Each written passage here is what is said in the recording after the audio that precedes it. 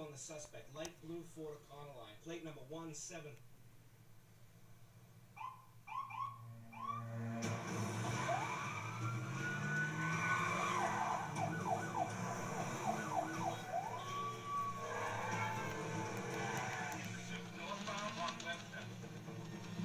That's right.